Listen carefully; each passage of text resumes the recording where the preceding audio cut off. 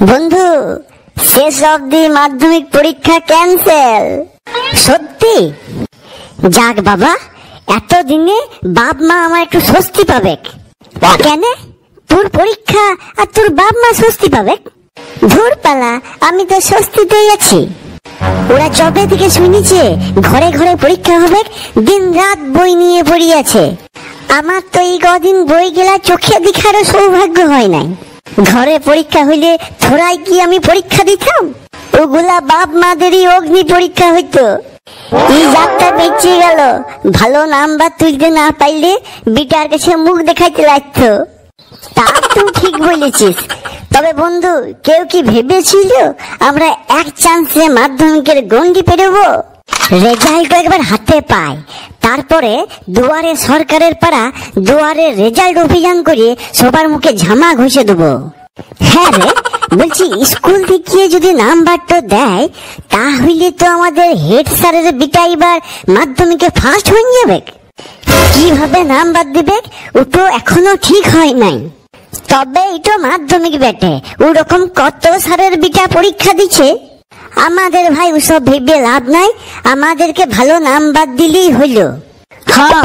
চল বন্ধু কালকে মাস্টারদের ঘরে ঘরে যাইয়ে একটা করে প্রণাম ঠুকিয়ে আসি। তাহলে নাম্বার দিবার আগে মুখটু একবার মনে পড়বে। গতকাল স্কুল বন্ধ মুখগুলা ভুলেই গেছে হয়তো। হ হ ভালো বলেছিস। চ চ যদি আবার স্কুল থেকে নাম্বার দেয় তখন তো ওয়ারাই নাম্বারটা দিবে তবে বন্ধু গমসা খুব কষ্ট পাবে। সারা বছর গাধার পাড়া পড়েও পরীক্ষাটা দিতে লাগল চিক চিক এ ভাইরাস স্যার ফোন করছে। দাঁড়া দাঁড়া ফোনটা ধরি। আমাকেও করিয়েছিল আমি ধরি নাই। ধর ধর আর আমাকে কনফারেন্সে লাগা। হ্যাঁ স্যার বলুন পরীক্ষা ক্যান্সেল খবর তো পেয়েছি। সে তো জানি তোরা খবর পাবি না? খবরের জন্য এতদিন সুকুনের পাড়া বসেছিলিস। কত মানসিক করেছিস? যা যা এবার মানসিক গেলা শোধ করগা স্যার তাহলে কি জন্য ফোন করেছেন? তোদের আনন্দের শরিক হইতে। লাইনে খরচত্ব আছে মনে হচ্ছে হ্যাঁ হ্যাঁ স্যার। হ্যাঁ রে, ফোন করলে ধরছিস নাই কেন স্যার হাত ছিলাম সেই তো খাওয়ার হাগা দুটোই তো কাজ তাও টেনশনে এতদিন ধরে চেপে রেখেছিলিস। তা পরিষ্কার হইল? বাবা স্যার আজকে আমাদের এত খবর এই, শোন বকেয়া টাকাগুলা কবে মিটাবি? স্যার কিসের বকেয়া টাকা? কি? তোদের দুজনেরই ছ মাসের মাইনে বাকি ভুলে গেলি?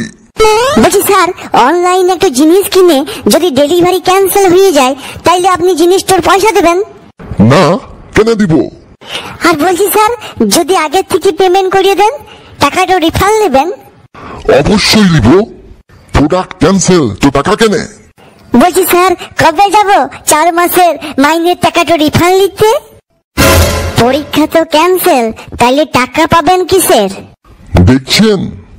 আপনারা শুধু ঘরের দুয়ারে সাইকেলের লাইনটাই দেখেন আর ভাবেন গাদা টাকা কামাচ্ছি। ভিতরে কষ্ট তো দেখেন না। ইয়াদের মতন ছেলেগুলাকে নিয়ে ঘর করতে হয়। ইয়াদের জ্বালাতে মাঝে মাঝে নিজের নামটাও ভুলে যায়। তার জন্য সকালে ঘুম থেকে উঠে হাতে নাম আর অ্যাড্রেসটা লিখিয়ে রাখি। কি হইল স্যার চুপ করে গেলেন। কবে যাব আপনার বাড়ি? তোদেরকে কষ্ট করে আসতে হবে না আমি গেছি তোদের ঘর। টুম্পা আর তোর ব্যাপারটা তোর বাবাকে একটু জানাইয়ে আসব। স্যার, এটো অন্যায়। স্যার এটো আপনি আইনত করতে পারেন না। তোর খবরটাও জানি তোর ঘরে গেছি। স্যার আপনি কিন্তু আমাদের উইক পয়েন্টে আঘাত করছেন। আমি কিছু করি নাই তোদের বাবারাই বলেছিল। বেটার উইক পয়েন্টগুলা খুঁজে খুঁজে একটু ঠিক করে দেবেন।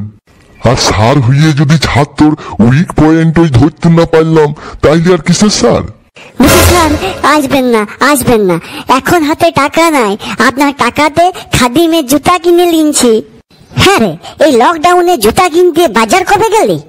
দোকান কেনে যাব। খাদিমের জুতা এখন অনলাইনেই পাওয়া যাচ্ছে। খাদিমের ওয়েবসাইটে? আর আপনাদেরকে বলছি, আপনারা যদি খাদিমের জুতা কিনতে চান, এই ভিডিও নিচে ডেসক্রিপশনে লিংক দেওয়া আছে। ওখান থেকেও কিনতে পারেন। আর আমাদের দর্শকদের জন্য একটা অফারও আছে। অনলাইনে খাদিমের জুতা কিনতে চাইলে প্রোমো কোডে বি বং ফিফটিন লিখলে পনেরো পার্সেন্ট ছাড় পাবেন। অফার তো সীমিত সময়ের জন্য তাই তাড়াতাড়ি কিনে নেন গা জুতা দরকার হইলে। হেই আগে বল পয়সাটা কবে দিবি? তারপর খাদিমের অ্যাড করবি। বলছি স্যার খুব তাড়াতাড়ি দিন দেবো দয়া করে ঘরে আসবেন নাই। ঠিক আছে তবে মাঝে মাঝে আমি তাগাদা দিব। বলছি স্যার আপনি মাস্টার না হয়ে সুদখোর মহাজন হইতে পারতেন। চুকার টাকা না পেলে ঘরে যাব কথাটা মনে থাকে জানো? রাখলাম ফোনটো। দুঃখ আমাদের পিছা ছাড়বে নাই বন্ধু। এই আনন্দের দিনেও কোথা থেকে দুঃসংবাদ চলে এলো? ধুর ওসব নিয়ে ভাবিস না ওসব আমি হ্যান্ডেল করে দেবো। তুই বরং গনসাকে একবার ফোন লাগা ওয়াকে একটু চাকরি। পরীক্ষা দেবো পরীক্ষা দেবো করিয়ে খুব লাফাচ্ছিল কি আশায় বাঁধি খেলা ঘর বেদনার বালু চরে কি হইল? ফোন কেন করেছিস? কাটা খাইয়ে নুনে ছিটা দিব বইলে। সাথে বন্ধু কনফারেন্সে আছে। কি ভাই শয্যাশায়ী হয়ে গেলি নাকি? হবারই কথা। সারা বছর তো পরিশ্রম করে শেষে পরীক্ষায় যদি না হয় কষ্ট হয় বটে। জীবনে কি পেলি? বছরে তিনশো পঁয়ষট্টি দিন শুধু কষ্টই করে গেলি। আর রেজাল্ট বেরাবার পর ভালো রেজাল্ট করি দুদিন আনন্দ। আর আমাদের দেখ সারা বছর তো শুধু আনন্দই করে গেলাম। অবশ্য রেজাল্ট বেরাবার পর দুদিন একটু কষ্ট হয় বটে, তারপর আবার আনন্দ। বিশ্বাস কর বন্ধু, ভিতর থেকে বলছি, খুব কষ্ট হচ্ছে রে তোর জন্যে। এত বছর ধরে এত পরিশ্রম করে পড়ে তুই যে নম্বরটা পাবি, আমরা না পড়ি হয়তো তার থেকে দু চার নম্বর কম পাবো। সত্যি ভাই, খুব কষ্ট হয়েছে শোন, তোদের বেশি কষ্ট পেতে হবে না। নম্বর তো না হয় তোরা পাবি মেনে নিলাম, কিন্তু এত বছরের শিক্ষাটা ওটা তো তোরা পেলি নাই। আমার এত বছরের শিক্ষা ভবিষ্যতে ঠিক কাজে দেবে। যেদিন কোনো কম্পিটিটিভ এক্সামে বসবো, আমার এতদিনের পরিশ্রম তোদের সাথে আমার পার্থক্যটা ঠিক বুঝাই দেবে। এই ভয়াবহ পরিস্থিতিতে সরকার সবার কথা ভেবে একটা সিদ্ধান্ত নিয়েছে। সেই সিদ্ধান্তকে স্বাগত জানানো আমাদের সবারই উচিত। ওনারা সবসময় সঠিক সিদ্ধান্তই নেবেন। তাই মূল্যায়নের ক্ষেত্রেও আশা করব সব দিক বিচার করেই ওনারা সিদ্ধান্ত নেবেন। তাই এখনই এত আনন্দিত হোস না জীবনের একটা পরীক্ষা পেনাই গেলি বটে, এখনও অনেক পরীক্ষা বাকি আছে। ভালো চাস তো সেগুলার জন্য প্রস্তুতি লে প্রতিবার কিন্তু করোনা তোদের বাঁচাইতে আসবে না। টুক টুক। হ্যাঁ ব্যাপারটা কি হইল? শালা, আমাদেরকে জ্ঞান দিয়ে ফোনটা কেটে দিল। বন্ধু, কিছু বুঝলি? ধুর, ছাড় দেখিনি এবার কথা। ওগুলা তো ছোট থেকে শুনছি, এখন জলবাদ হঙ্গেছে দুটো কান ভগবান কি জন্য দিনছে একদিকে ঢুকাবি, একদিকে বার করবি। কত মহাপুরুষ বুঝাই বুঝাইতে লাগল কোথাকার কোন গমসা হাতি ঘোড়া গেল তল, মশা বলে কত জল। এখন রাখি বন্ধু, পরে দেখা হবে। তবে এই আনন্দে একটু পার্টি অ্যারেঞ্জ কিন্তু করতেই হবে। যতই হোক ডামা ডোলে মাধ্যমিক তো পেনাইয়ে গেলাম।